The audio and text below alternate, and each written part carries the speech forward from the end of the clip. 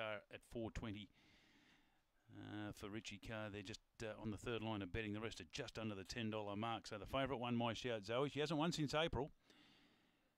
But uh, she's capable enough in this class. Might just get a clean run early. We'll see. Green light on. Allure in motion for race two out of Darwin, the Highland Sportswear. Favourite in one, My Shout Zoe.